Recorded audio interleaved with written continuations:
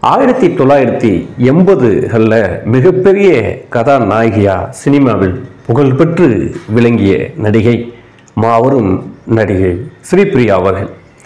அவர்கள் ஆயிரத்தி தொள்ளாயிரத்தி எழுபத்தி ஒன்பதாம் ஆண்டு சிவாஜி ஐயா கூட திரிசூலம் படத்தில் நடிச்சிருக்காங்க.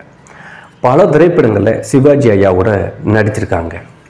அவங்க நடித்த பல திரைப்படங்கள் பெரிய காவியமாக இருந்தது. குறிப்பாக பருத்தி எடுக்கையில் என்ன பல நாளாக பார்த்த மச்சான் அந்த பாட்டுக்கு அவங்க பாடி வர்ற காட்சிலாம் இன்றைக்கும் யூடியூப்பில் மக்கள்லாம் பார்த்து ரசிக்கக்கூடிய ஒரு கதாநாயகியாக தான் இருக்கிறாங்க. அவங்க சிவாஜி ஐயாவை பற்றி பேசியிருக்காங்க. ஆயிரத்தி தொள்ளாயிரத்தி எண்பத்தி இரண்டாம் ஆண்டு ஒரு பத்திரிகைக்கு அளித்த பேட்டியில் என்ன சொல்லியிருக்காங்கன்னா சிவாஜி ஐயா கூட நடிக்கும்போது அதாவது முதல் முதல்ல நடிக்கிறவங்க பயத்தில் நடுங்கிடுவாங்களாம் ஏன்னா அவர் அவள் மிகப்பெரிய நடிகர். மிக டாப்பில் புகழின் உச்சத்தில் இருக்கிறவர். அப்போ புதுசாக நடிக்கிறவங்களுக்கு அவர் நடிப்புக்கு ஈடு ஈடாக நடிக்காட்டாலும் ஓரளவாவது நடிக்கணும். அந்த பதட்டம் வந்துடும் ஆல்ரெடி பல படங்களில் நடித்து பழக்கப்பட்ட நடிகர் நடிகை கூட சிவாஜி ஐயா கூட இருக்கும்போது ஒரு பதட்டம் நடுக்கும் இருக்கும். டயலாக் டெலிவரி பண்ணும்போது நடிக்கும்போது.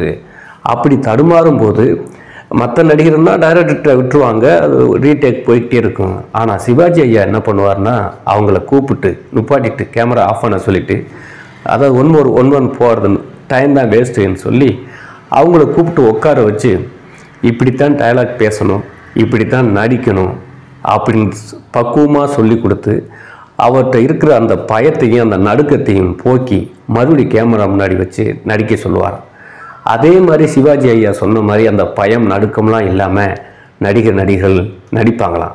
ஸோ அந்த அளவுக்கு அவர் மற்ற நடிகர் நடிகர்களையும் அரவணைச்சு அவர்களுக்கு தன்னோட அனுபவத்தை நடு நடிப்போட அனுபவத்தை சொல்லி கொடுத்து அவர்களை உயர்த்தியவர் தான் சிவாஜி கணேசன் ஐயா அப்படின்னு சொல்லி அவர் சொல்லியிருக்காங்க அதே மாதிரி அவர் படத்தில் ஒரு படம் நடித்தா கூட அவர் கூட நூறு படத்தில் நடித்ததுக்கு சமம்.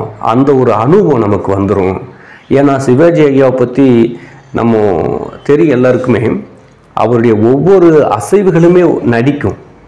சின்ன சின்ன அசைவுகள் உடல் மொழியை பார்த்தீங்கன்னா அவருக்கு மாதிரி ஒரு உடல் மொழியில் யாருக்குமே வர கண்ணை நடிக்கும். ஆனால் கன்னத்தில் உள்ள அந்த தோலும் நடிக்கும்.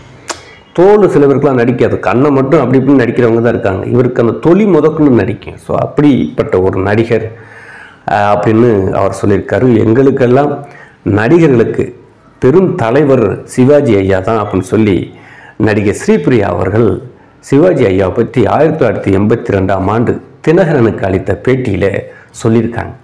அந்த அளவுக்கு சிவாஜி ஐயா மிகப்பெரிய நடிகராகவும் மிகப்பெரிய மனிதராகவும் சிறந்து விளங்கியிருக்கார். மீண்டும் ஒரு நல்ல தகவலோட சந்திப்போம். நன்றி.